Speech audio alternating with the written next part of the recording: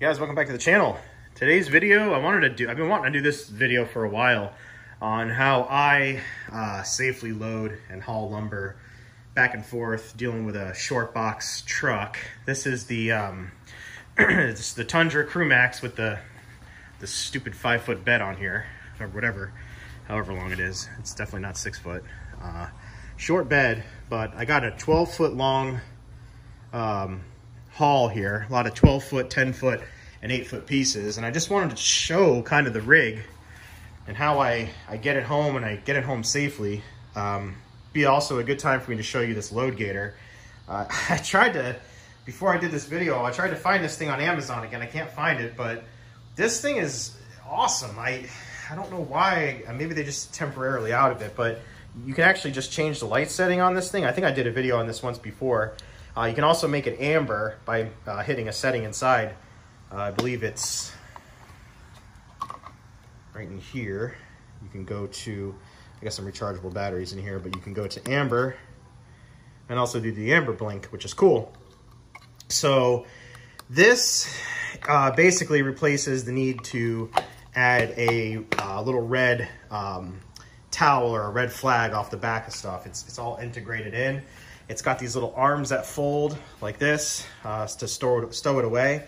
And it uses like a little alligator clip style. Uh,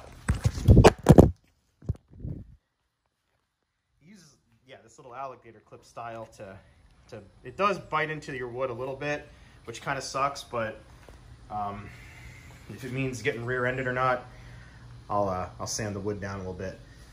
So this is a 12 foot long lumber. This is 10 foot long lumber. This is eight foot long lumber. Now you can see with the eight foot stuff, it's pretty easy in the back of the Tundra. But the way I do it is I attach it um, on these, the built-in bed hooks on each side and that you can't really see um, here in the front. And it cinches it down here. And then also, if you want for good measure, sometimes I'll do it is I'll run another strap in the back there to cinch it down. This load's pretty evenly centered on this pinch point. Then what I do, instead of just stopping there, I actually wrap the wood all the way around like that. And I pinch it again together. So I like bundle it right here with this strap. And this locks it all together. So when you, you know, when I'm shaking it like this, back and forth, none of that crap's going anywhere. And if you make it, if the highest point of the wood is in the center, then it'll pinch it better versus if you had a bunch of high sides and then a low side in the center, this stuff will slide right out. So this, this is just kind of how I do it. So there it is from the back. Safely loaded. I do wish that Toyota get on a little bit of a rant here. I do wish Toyota would make the Crew Max with an eight foot bed.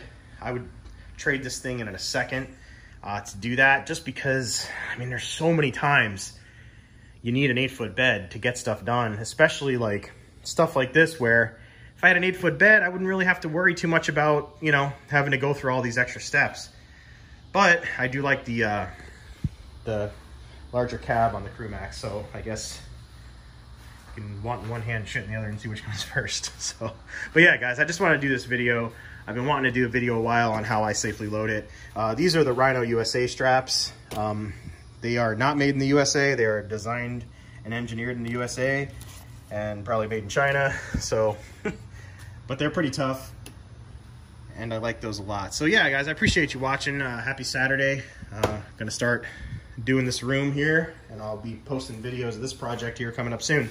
So remember, rate, comment, and subscribe and I'll get you in the next video. Later.